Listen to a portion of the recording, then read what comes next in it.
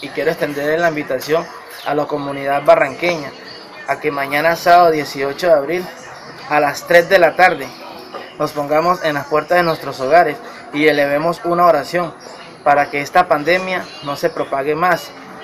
Aquellos que tengan equipo de sonido, sáquenlo.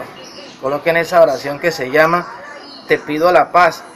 Mañana, no lo olvides, a las 3 de la tarde desde tu balcón, desde la puerta de tus hogares, elevemos esa oración para que sea Dios tomando el control de esta pandemia. Homeral, quédate en casa.